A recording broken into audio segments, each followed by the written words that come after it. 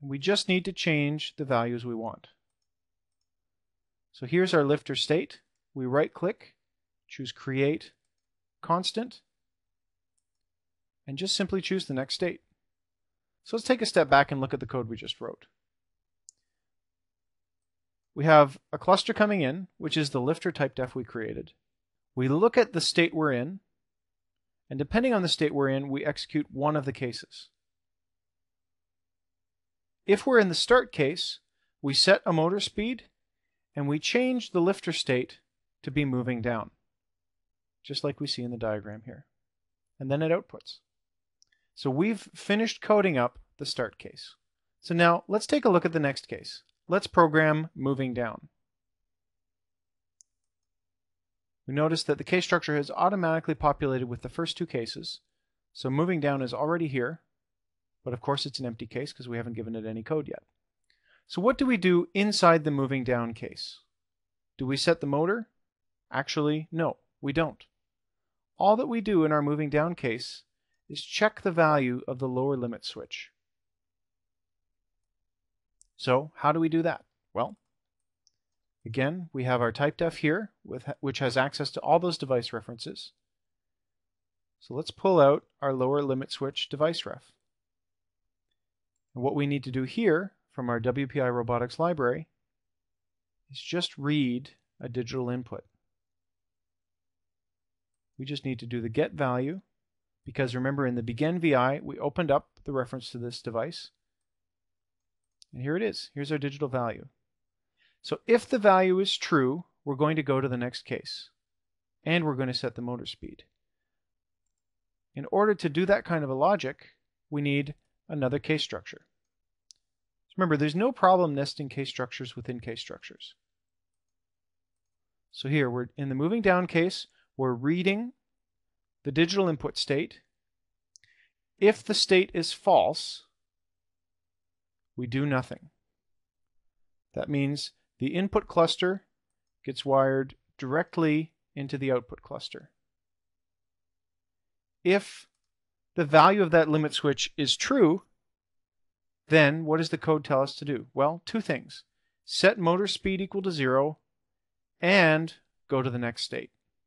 Well, we already wrote code for doing that, so let's steal it.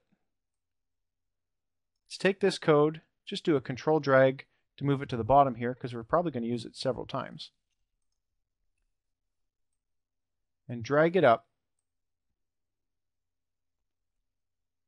into our true case. So we'll set the motor speed this time to zero. We'll again take our bundle by name, although I know we're going to need a little bit more room, so I'll do a control drag here to make some more space. Drag this guy in here. Again, wire up the middle terminal to our input cluster, wire the output to the output of the case structure, and go to the next case. So moving down takes us to wait for ball. And now we've programmed up our second case. The beauty of this architecture, especially in this example, is that the code in each case is actually very, very similar.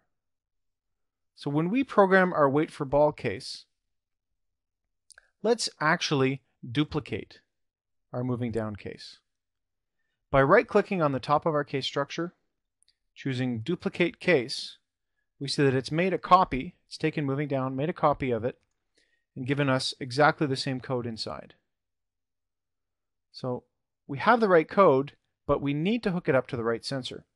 Remember, what's happening in the wait for ball case? It's checking the ball sensor to be true. So We've got hooked up to the lower limit switch, so we need to choose our ball sensor instead. So hook that guy up. If our ball sensor is false, what are we doing?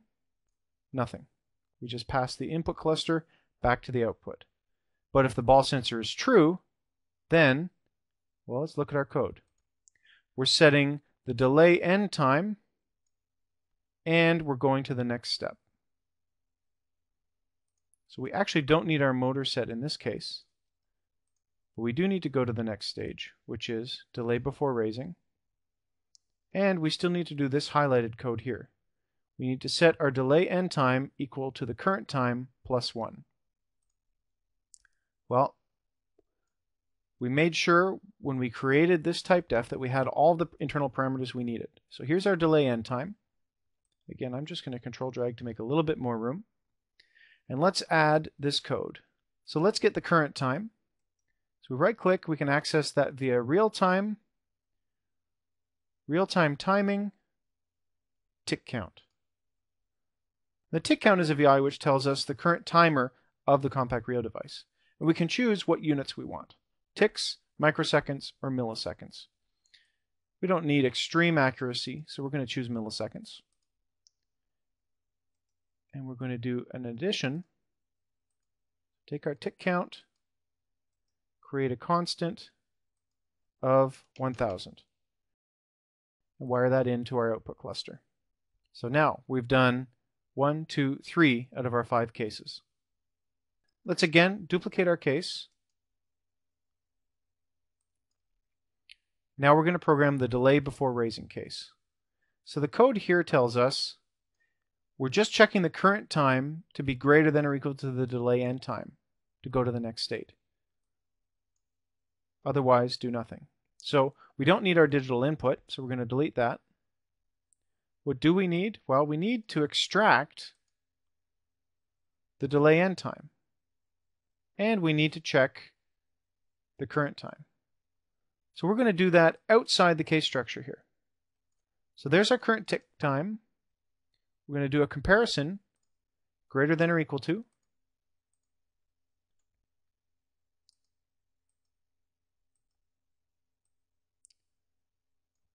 The input delay time.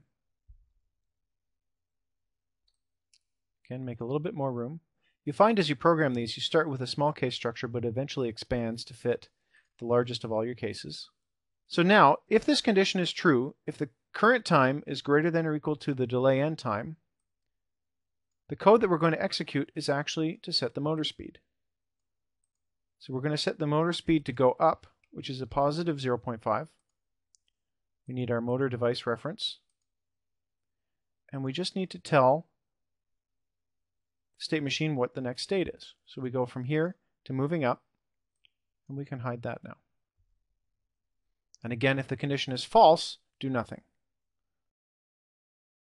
And the final state we need is the moving up state. And this moving up state, if we take a look at the code, it's very similar to the moving down state. It's basically waiting for the upper limit switch to be true. So let's pick the right state to duplicate. So we start with our moving down. We'll duplicate it. It's chosen moving up as the next case. It's very good. Everything here is almost exactly what we need, except we need to make sure we read the upper limit switch in our DIO get. And if it's true, we're actually going to start moving down. So our speed will be minus 0.5 and our new state will be moving down. And if we delete this extra stuff which we've left behind, we see that we've got a VI that's ready to run. So depending on how you look at it, you may find that this code that we just created actually was pretty quick. As long as you have a very clear picture of what your state diagram is going to be, whether it's through a nice state diagram or whether it's just very clear in your head or whether it's clear on a piece of paper in front of you, as long as you're clear on what's happening in what order, what code is happening on transitions, and what checks are being performed within each state, it's very easy to generate this code. We save our code and return to the robot main for a second. Open up our teleop and just review what's happening here. Every time that the robot main VI runs, the teleop VI will run. Remember we have a shift register here which holds the robot data so that loop after loop after loop, the same data is stored and passed back into the teleop VI.